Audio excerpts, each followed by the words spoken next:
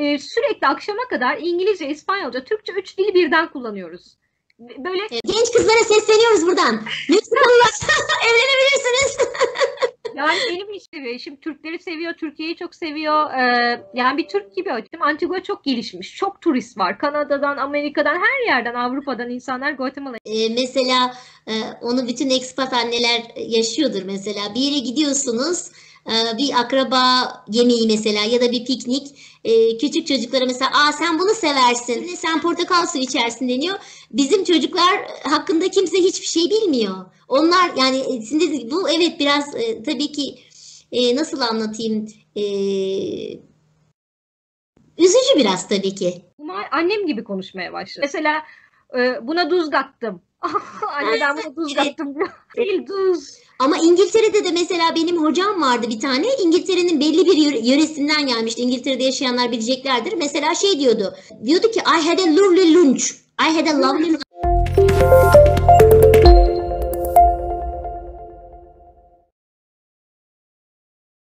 Ee, peki iyi günler ve Expat Talks'a hoş geldiniz. Ee, bugünkü konuğumuz e, Dilek Hanım. Ee, Dilek Hanım'ın e, çok güzel bir Instagram sayfası var. E, Kendisi e, private guide, Türkiye'de çalışıyor. E, Aynı zamanda e, bir expatla evli, Meksikalı bir eşi var. E, Dolayısıyla da yurt dışında da yaşamış, İngiltere'de e, ama daha da değişik özellikle bahsetmek istediğim e, Guatemala'da yaşamış. Ben bunu çok ilginç buldum. Kendisinden bu konuda da bilgiler alacağız. Tabii ki bizim konumuz gereği e, bu kültürel şoklardan bahsedeceğiz. Kendisinin çalıştığı kişilerle ilgili pek çok kültürü görme şansı var. Pek çok kişiyle çalışmış, hala çalışıyor. Ee, şu anda devam ediyor. Hoş geldiniz diyorum tekrar Dilek Hanım. Merhaba, hoş geldik. Herkese selamlar. Dilek Hanım şimdi bize biraz çok az kendinizden bahsedin. Ee, siz İstanbul'dasınız. Ee, dediğim gibi özel tur guide olarak çalışıyorsunuz. Tur rehberisiniz. Ee, Evet. san- sanırım sadece İngilizce bilmiyorsunuz değil mi? Başka bildiğiniz diller de var. İspanyolca, İspanyolca Evet. konuşuyorum. İngilizce, İspanyolca turist rehberliği yapıyorum şu anda İstanbul'da.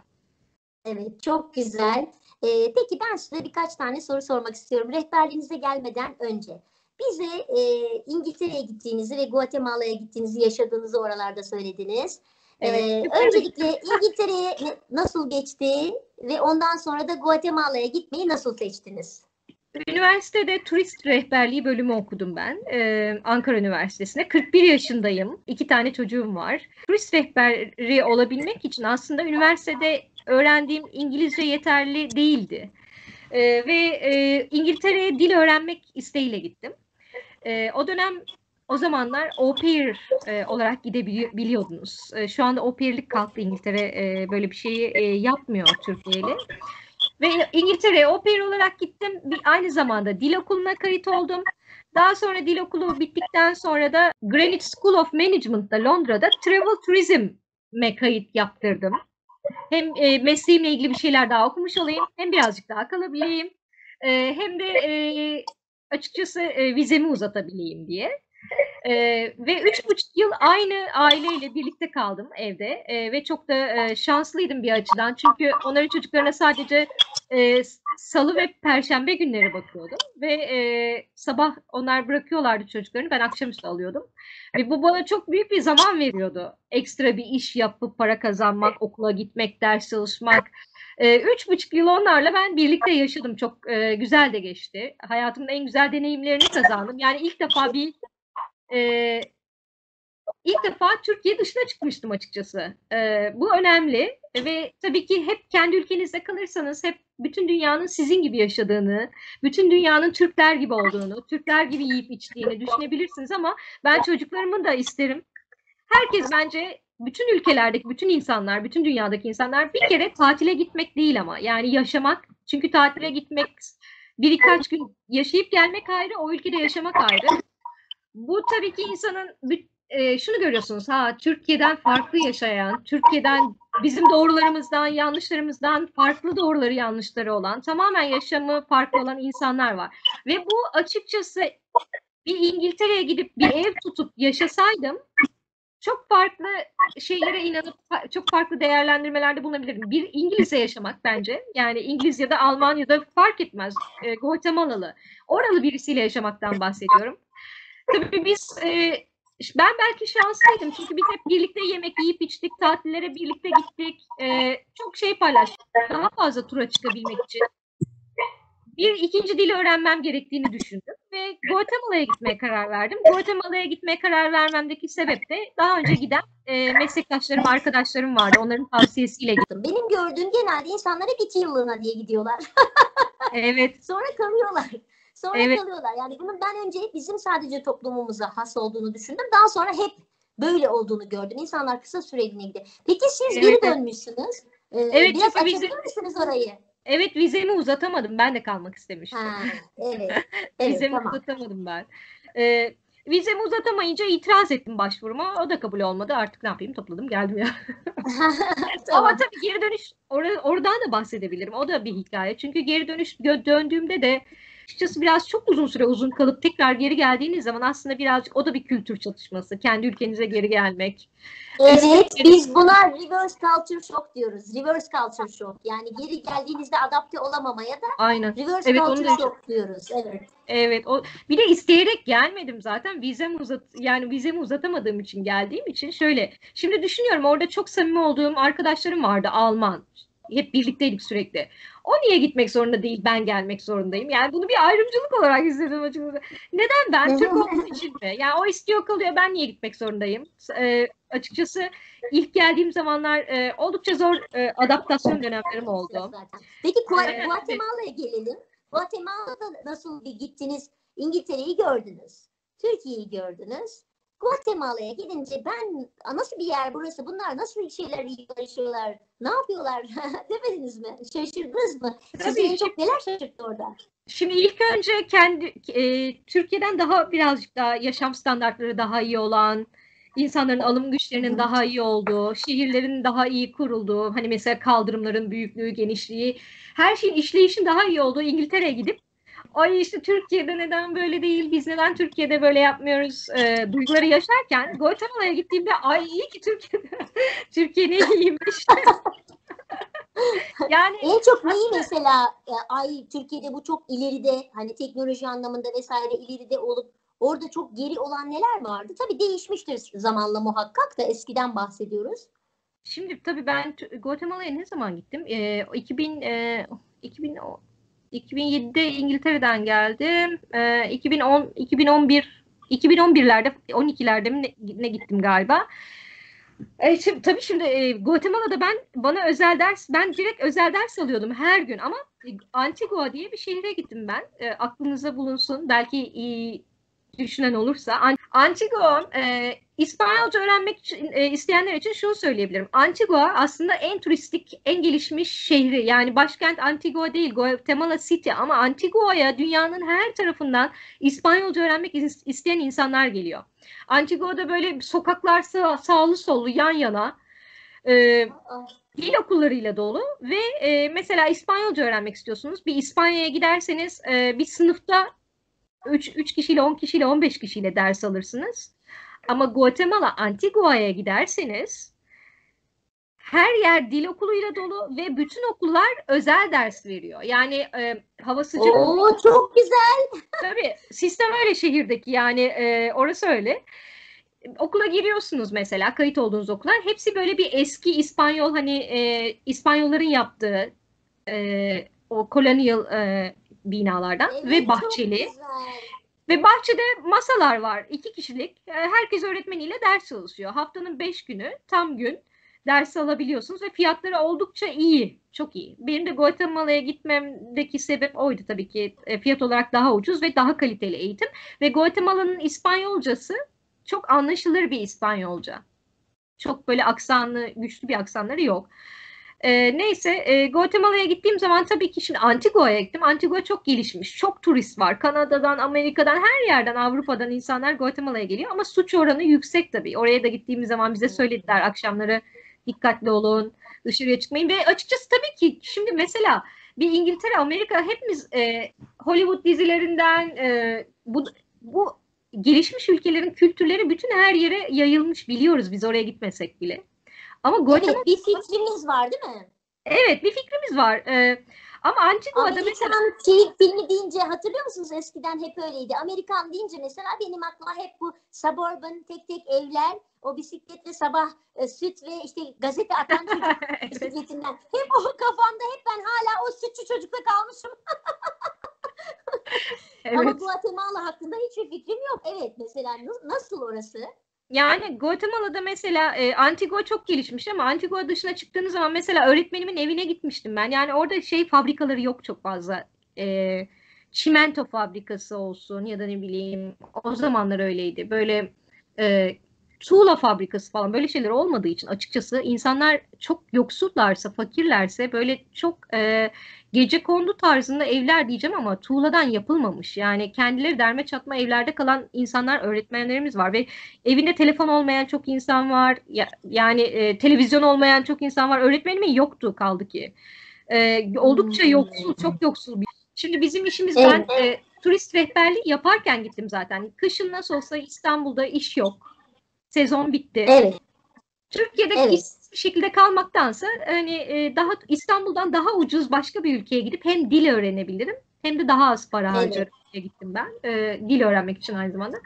Ve gitmeden önce burada zaten çok yoğun bir sezon geçirmiştim. Bizim işimizde ben grupla çalışmıyorum. Hani e, mesela bir gruba turist rehberliği yapmıyorum. Genelde private, e, özel turlar yapıyorum. Bir özel paket değil mi? Yani tamamen şahsa göre hazırlanmış. Evet. Onun isteklerine göre ve hatta işte belki bir siz bir şey hazırlıyorsunuz. Sabahtan e, şey yapıp belki öğleden sonra tamamen başka bir şeye de- değişebiliyor belki o bir de konuşmaların arasında değil mi? Öyle özel Evet, şeyler evet, hazırlıyorsunuz. tabii, çok tamamen, güzel, çok e, çok güzel. tamamen e, o kişiye özel yapılmış. Tail, tailor made diyoruz. E, Evet. e, şahsa özel istediği gibi nereye gitmek isterse o an orada da belirleyebiliriz. Sabah otelde de konuşabiliriz. Ve ba- çoğunlukla mesela yalnız tek başına gezen bayanlar single e, ladies olabilir. E, e, çok yaptım. Ya da işte bir çift olabilir karı koca bir aile olabilir. Çok yapıyorum. E, ve tabii ki e, ülkemize gelen bir turist e, turist rehberinin işi aslında sadece tarih anlatmak değil. E, özel tur Evet. yaptığınız için evinizde bir misafir ağırlıyormuş gibi aslında tur yapıyorsunuz. Yani e, o insan sizin ülkenize gelmiş ve ilk sizi tanıyor ve siz o insanı evinizde ağırlıyormuş gibi aslında sırf tarih anlatmayıp o insanlarla bir bağ kuruyorsunuz ve bazen turda o kadar yakın ilişkiler kuruyoruz ki insanlarla akraba gibi oluyoruz. E, ve bir süre Evet. sonra gittiklerinde gittikten sonra size e-mail yazmaya devam edebiliyorlar. Facebook'tan ekliyorlar, Instagram'dan ekliyorlar tabii. Ama şöyle de bir şey var. E, tabii ki onlar bizim misafirimiz olduğu için biz onları hep sabahtan akşama kadar hep buyurun efendim şöyle oturun. Tabii ki e, yağmur yağıyorsa bir şemsiye bulalım hemen size. Benim şemsiyem var altına girin. Her zaman onları biz böyle e, pamuklara sarıp tabii ki öyle olması gerekiyor. Evet. Ve tabii ki Evet. uzunca bir sezonun ardından tur bittikten sonra e, ben Guatemala'ya gittiğimde açıkçası biraz bundan yorgundum. Nasıl evinize her gün misafir gelirse nasıl hissedersiniz? Yani yorgun, misafir Evet. olmaktan. Tabii ki seversiniz misafiri ama tabii ki her gün her gün her gün olduğunda yorulursunuz. Tabii, tabii. istersiniz ki azıcık da dinlensem yani yoruldum. Tükenmişlik sendromu diyeyim. Tabii tabii. Ve Guatemala'ya gittim, gitmeden önce e, Antalya'da çalışmıştım bir dönem. İngiltere'de kalmıştım. İz- İzmir'e ailemin yanına geri dönmüştüm ve Guatemala'ya gittiğimde de artık yoğun bir sezonun arkasından oldukça yorgundum aslında. Mesela orada bir birlikte Guatemalalı bir ailenin evinde kaldım ben ve ev, okul parası hepsi ücretin içindeydi. Üç öğün yemeği de aileyle birlikte yiyorduk. E, Türkiye ile ilgili olarak veya sizinle ilgili olarak aa bunu bunu da mı bilmiyorlar dediğiniz veya aa bu kadar bunu mu soruyorlar dediğiniz neler yaşadınız eminim çok vardır da. Tabii e, şimdi ülkesine göre değişiyor. Mesela Latin Amerikalılarla tur yaptığım zaman Latin Amerikalılar e, çok farklı şeylerden yani onların kendi tarz e, soruları ve e, bakış açıları var. Amerika, Kanada farklı bence E, ve e, Evet. Asya farklı. Mesela Latinlerde şeyi e, biz böyle e, Latinlerde şey yapmıştık. E, yani e, mesela giriyorum camiye. This is mihrap. Bakın mihrap. e, this is direction of Mecca. Mekka'yı gösteriyor. Mekke nerede diyor? İsrail'de mi? Yok hayır Mekka Suudi Arabistan'da. Mesela e, gerçekten e, zaten biz bu yüzden seyahat ediyoruz. Bilmediğimiz şeyleri görmek, tanımak. Aslında bu onlar için büyük bir fırsat ve ben de buna vesile olduğum için çok mutluyum aslında. Mesela ben şunu görüyorum. Latin Amerika ne kadar aslında dünyanın bu tarafından o kadar uzakta ve e, şey ki hiçbir şey bizim hakkımızda hiçbir şey bilmiyorlar. Yani Mekke neresi? Evet. Mesela Hazreti Muhammed e, ben bu soruları çok karşılaşıyorum. Mesela camiye giriyorum ya da Ayasofya'ya giriyorum. E, bazen şey söylüyorlar. E, Jesus Christ falan orada resmini gösteriyorum. Sonra da arkasına camiye giriyorum. Hangisi daha önce diyor? İslam mı? Hristiyanlık mı? Bence e, hepimiz bu yüzden seyahat ediyoruz ve seyahat etmenin güzelliği de bu. Kendimizi başkasının yerine koyabilmek, onların yaşantılarını deneyimlemek, bir şey sormak istiyorum peki. Ee, benim özellikle sanırım İngiliz arkadaşlarım daha çok e, buna şaşırmışlardı.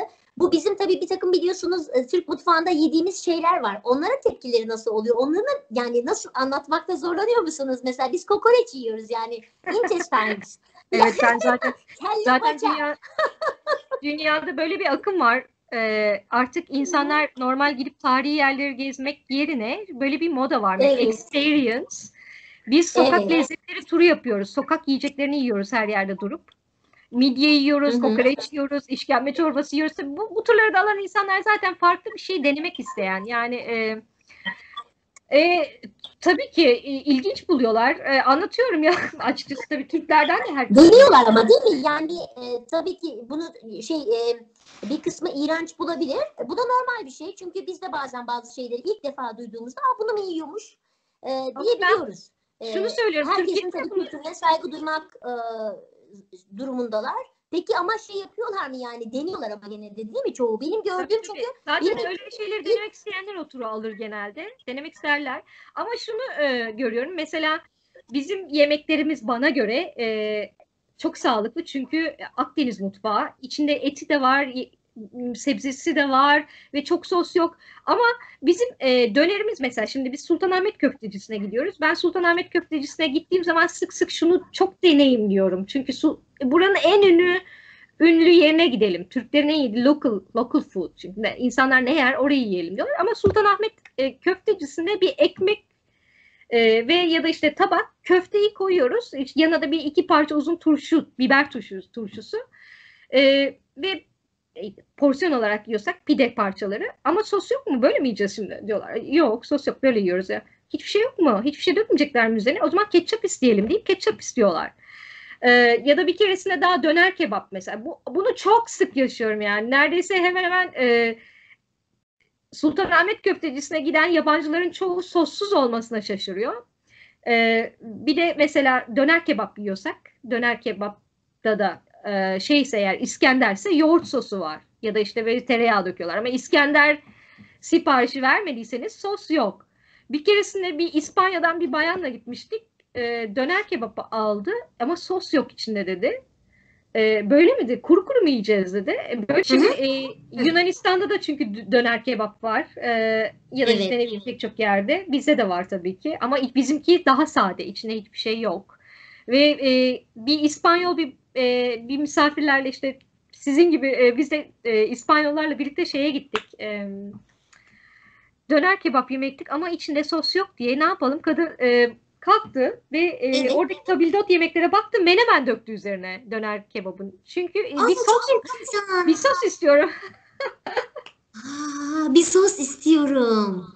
Aa, ve, çok Mesela, peki evet. Hintliler hiç sos deyince onlar da biliyorsunuz köriye alışık oldukları için Hindistan e, civarından gelenler de bizim yemekleri biliyorsunuz çok şey buluyorlar, bland buluyorlar böyle yani tatsız tuzsuz geliyor. Hep öyle diyorlar ya plain is so plain. Evet bunun içinde bir kere bir şey yok yani tuzla karabiberle flavor mı olur diyorlar. Onlar için tuz karabiber Tabii yani şey benim, istiyor. benim eşim Meksikalı mesela bizim sokakta e, mısır evet. satılır ya. Mısırın evet. üzerine Meksika'da e, tereyağı sürüyorlar. Onun üzerine erimiş peynir sürüyorlar. Onun üzerine bir e, çili sos döküyorlar falan. Bizde sadece tuz döküyorlar. Ama evet. onların çok kalorili. Yani çok yağlı. Bizimkisi çok sade. Pilavımız mesela. Pilavcılar var sokakta. Evet. Plain pilav yani sade pilav. Nohut var içinde ve tavuk evet. var ama sos yok. Ama biz böyle seviyoruz. Belki belki de daha sağlıklı. Yani e, şimdi çok sos demek e, ben e, seviyorum. Se- zaten nerede doğarsınız onu seviyorsunuz değil mi? Muhakkak ki kesinlikle zaten dediğim gibi o sebepten dolayı herkesin kültürüne e, saygı duymak lazım. E, onlar nerede yaşıyorlarsa oradaki imkanlara göre e, onu yiyorlar. Yani burada patates varsa patates yeniyor. Orada öbür tarafta başka şey varsa başka şey yeniyor. Mes- Peki bir şey ben şimdi e, sizin biraz özel hayatınıza kaymak istiyorum buradan. E, tu- tur rehberliğinden. Sizin e, bizim için e, çok önemli olan bir e, durumunuz daha var. Siz e, sizin eşiniz yabancı, Meksikalı kendisi. Türkiye'de yaşayan bir Meksikalı e, ve e, çocuklarınız var. Yani dolayısıyla third culture kids yetiştiriyorsunuz.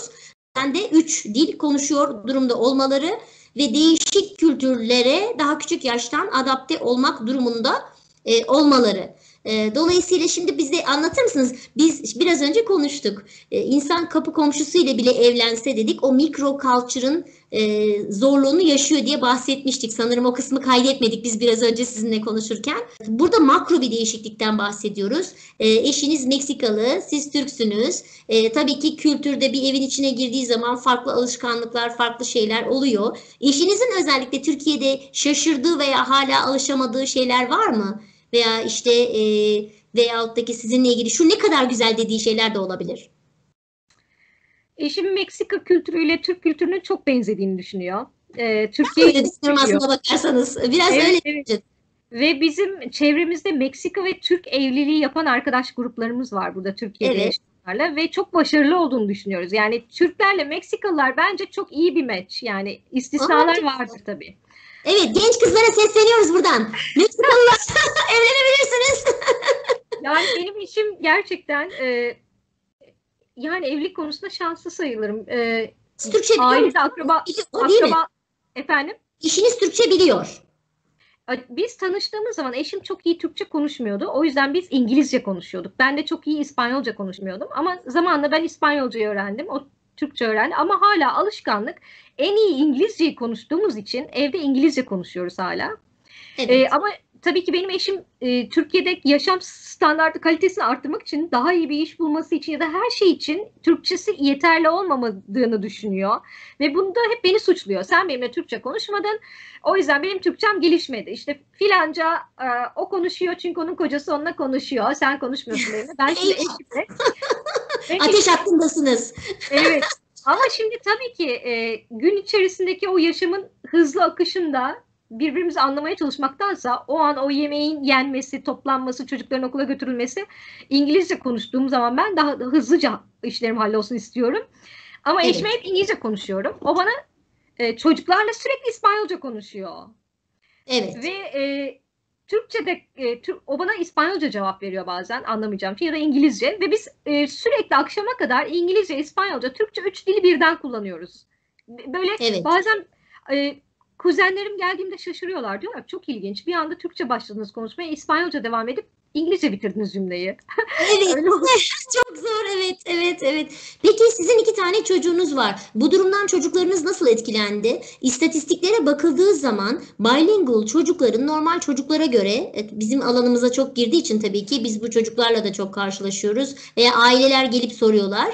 Ee, bunun için terapi alıyorlar. Çocuklar biraz daha geç öğreniyor bilingual çocuklar okumayı ve yazmayı e, hatta konuşmayı.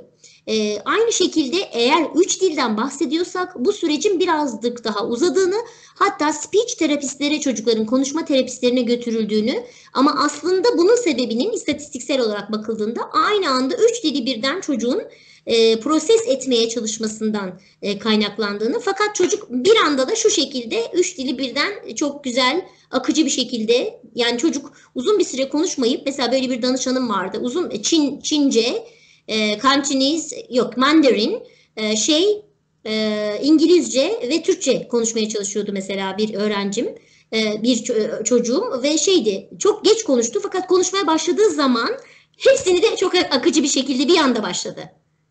Hiçbir Evet. geçik yoktu aslında. Sizde nasıl oldu bu? Canan'ın bizimkisi tamamen farklı oldu. Açıkçası biz bu konuda çok şanslıydık. Benim de çocuklarım küçükten daha bebekken e, çevremdeki herkes senin çocukların çok geç konuşacak. Hatta bir keresinde e, misafirliğe gitmiştim. Gittiğim yerdeki misafirlikteki 13-14 yaşında çocuklar vardı. Birbirleriyle benim çocuklarımla ilgili konuşurken duydum. Onlar çok geç konuşacak. Çünkü onların evde annesi babası farklı değil.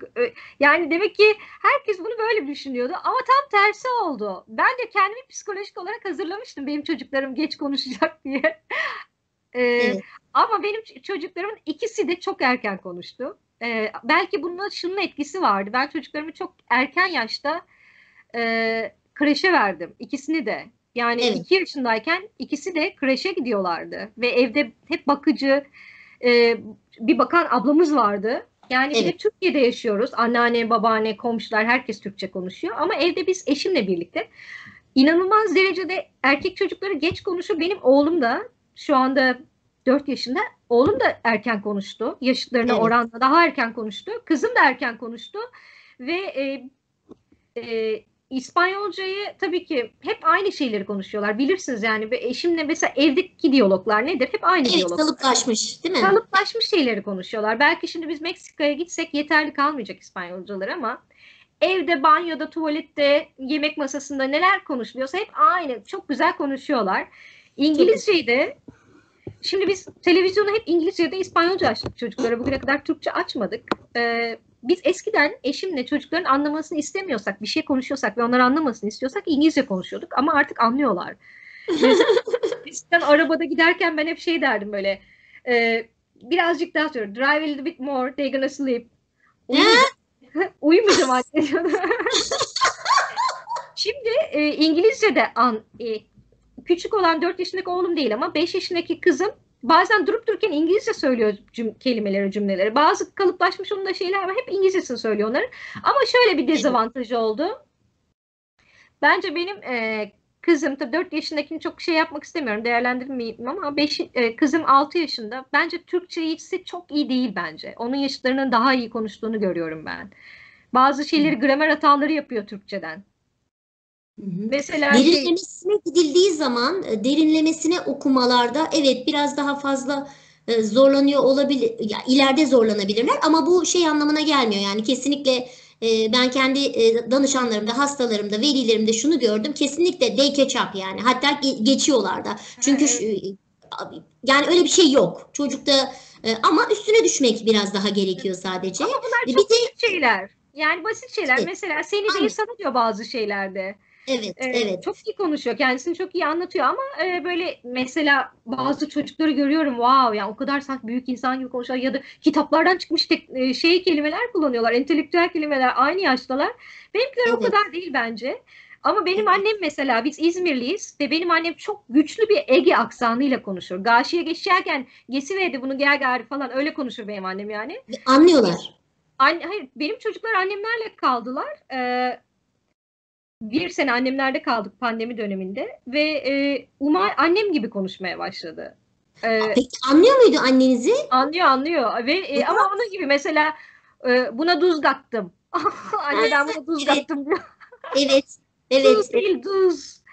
Evet ama İngiltere'de de mesela benim hocam vardı bir tane. İngiltere'nin belli bir yöre- yöresinden gelmişti. İngiltere'de yaşayanlar bileceklerdir. Mesela şey diyordu. e, diyordu ki I had a lovely lunch. I had a lovely lunch. I had a lovely lunch diyecek ama yaşadığı şeyden de I had a lovely lunch. I was like ne? Lovely lunch nedir? E, mesela gibi. Yani e, e, evet sizin dediğiniz gibi nerede hangi şeyde yaşıyorsa ama çok güzel bir şey. Yani bu kesinlikle kötü bir şey değil. E, bir de şunu gördüm. Çocuklarınız e, çok benim için merak konusudur. Hep çocuklara sorarım gelen. E, ben genelde ergenleri görüyorum ama e, hangi dilde hangi e, dilde rüya görüyorlar? Bilmiyorum onu hiç sormadım açıkçası. Ama genelde çoğunlukla Türkiye'de yaşadığımız için Genelde sor- şu- sor- sormak Evet. isterim. Genelde şunu gözlemledim çünkü hangi dilde rüya görüyorsa çocuklar o dili main language olarak beyin kabul ediyor. Ha. Yani e, e, genelde işte mesela İngilizce görüyorsa e, işte o şeye göre de değişiyor bir süre sonra. Ağırlık nereye gittiyse ve bu bilingual ya da işte üç dil konuşan trilingual e, çocuklarda daha da değişiyor. Şey oluyor neye ağırlık ver yani bazen mesela İspanyolcaya ağırlık olabiliyor. E, bakıyorsunuz cümleleri İspanyolcaya şey yapıyor. Bazen e, İngilizceye bazen de tamamen Türkçeye ağırlık olabiliyor. E, mesela işte özellikle şeylerde yabancı ülkede yaşayanlarda Türkiye'de gelip uzun vakit yaz tatili geçirmek falan hem kültürü öğrenmek açısından hem de dili öğrenmek açısından çok fayda sağlayabiliyor. Mesela onu çok görüyoruz yurt dışından gelen çocuklarda. Mesela herkese sen diye hitap etmeleri.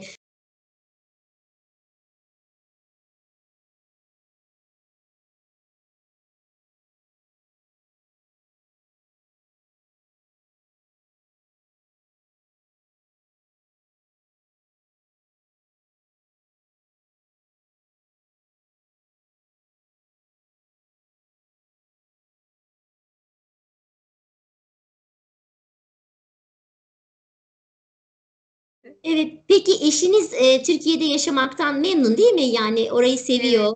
Tabii Ee, tabii çok seviyor. Eşim Türkleri seviyor, Türkiye'yi çok seviyor. Ee, yani bir Türk gibi açık. Yani e, benim eşim Türk yemeklerini yapar, çok güzel yapar ve e, akrabalar, aileler arasında da en iyi damattır.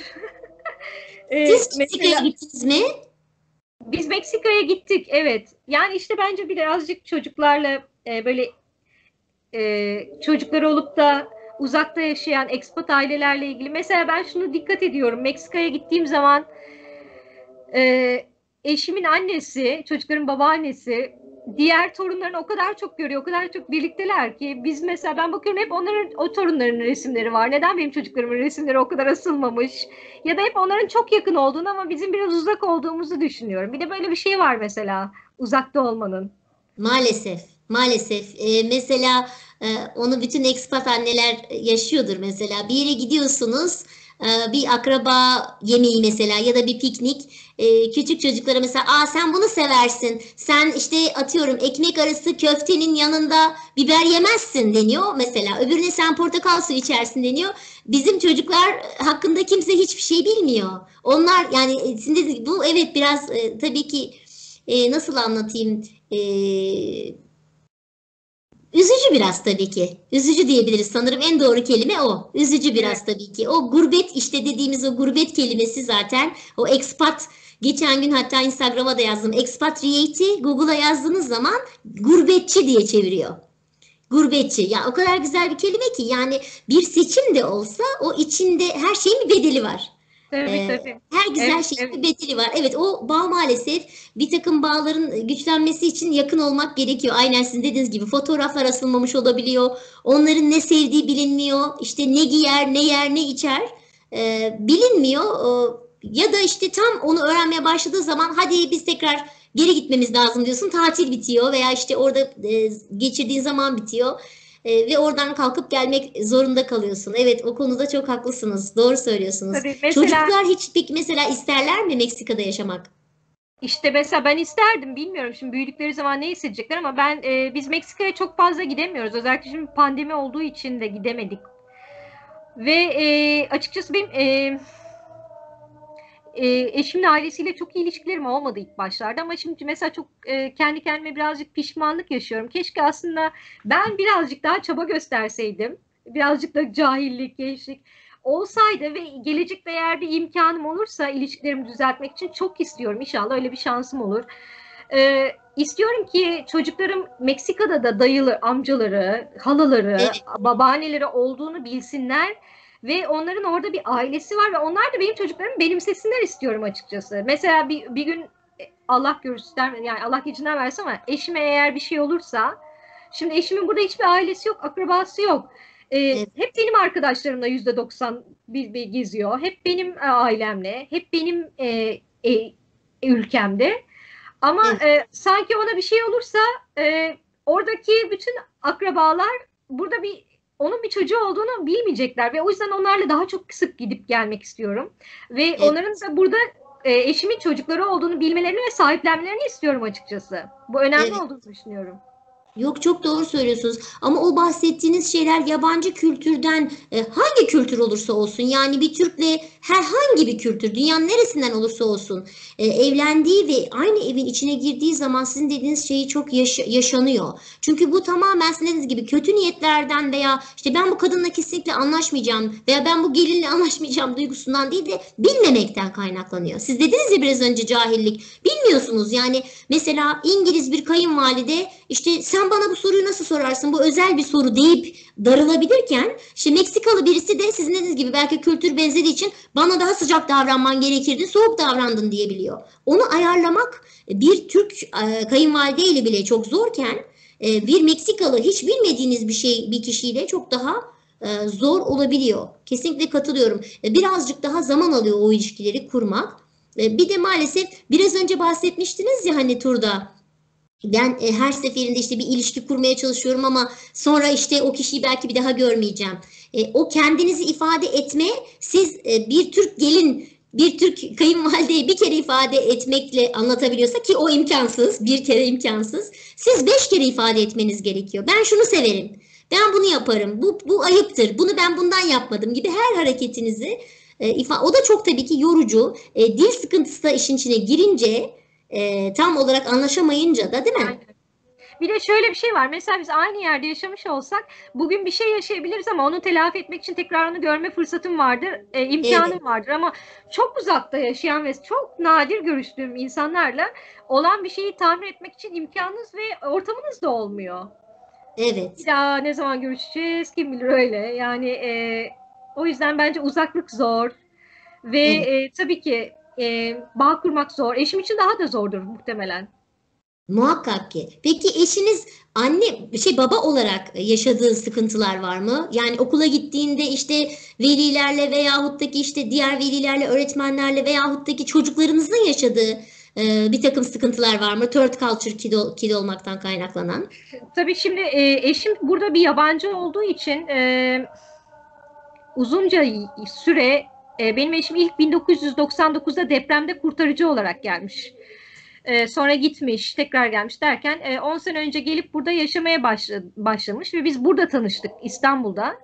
E, ve e, tabii kariyeriyle ilgili ne yapacağıyla ilgili uzun bir bocalama dönemi oldu. Ne yapayım, ne edeyim derken ben rehberlik yapıp full time çalıştığım için e, çocukları eşim evde kalırsa yani şöyle bir dönem eşim de çalışıyordu. E, turistik bir mağazada e, Mısır çarşısında çalışıyordu ve e, o da geç geliyordu. Ben de geç geliyordum. Sabahları çocuklara bakacak birisi mi olsun, birisi alıp götürsün kreşe, kreşte kalsın sonra bir başka birisi alsın.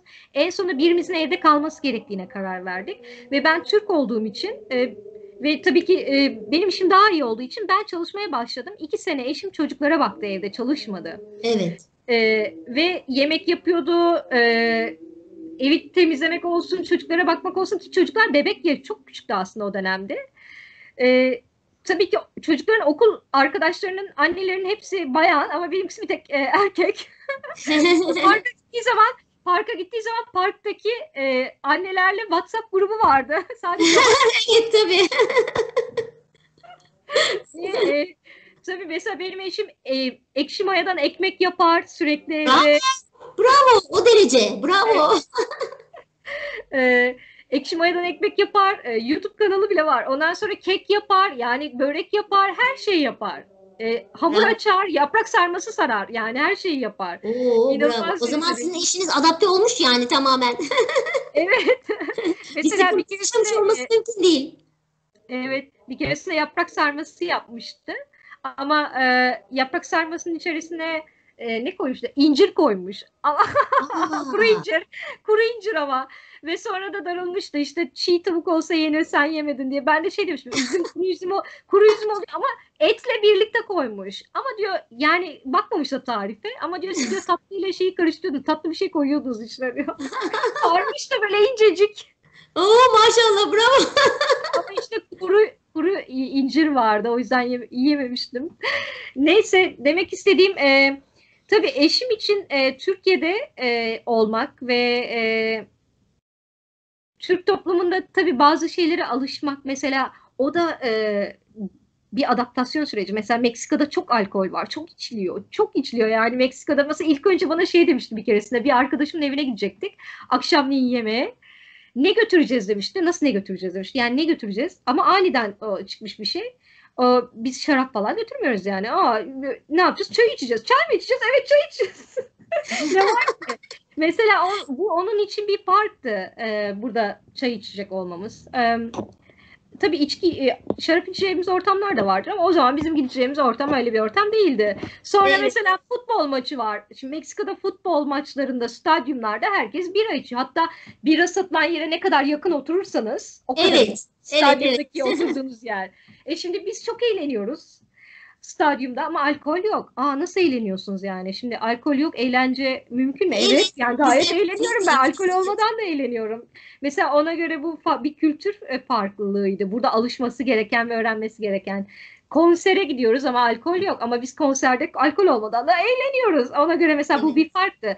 Bence onun için Türkiye'de e, alışması gereken mesela biz eşimle birlikte e, yaşıyorduk evlenmeden önce. Ailene bunu söyle. Söyle. Ne var ki sen ka- kaç yaşında kızsın? Söyle canım 40 yaşındasın. Söyle ailene. ne var ki? E, bence onun için de pek çok farklılıklar e, adapte olması gereken, öğrenmesi gereken ve hepsi de çok güzel adapte oldu diye düşünüyorum. Çok güzel oldu.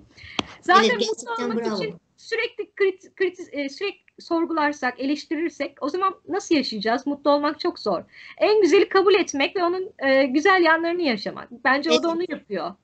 Evet, evet çok doğru söylediniz. Yani e, değişiklik ve değişime adapte olmak, yani değişmenin hayatın bir parçası olduğu, sürekli devinim içerisinde olduğu e, ve onu kabul etmek evet çok önemli ve gerçekten anlattığınıza göre yani dolma falan sarıyorsa eşiniz çok güzel bir şekilde adapte olmuş. Kesinlikle doğru söylüyorsunuz. Şöyle şunu Değil da mi? anlatmak istiyorum.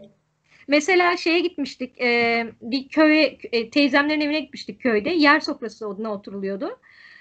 E, eşim şimdi hiç yere oturamıyor tabii ki. Masa, modern hayatta masa ve masa sandalyeye doğduklarından beri alıştıkları için, hiç yere oturmadıkları için kasları yoga da yapmıyorsa oturamıyor tabii ki.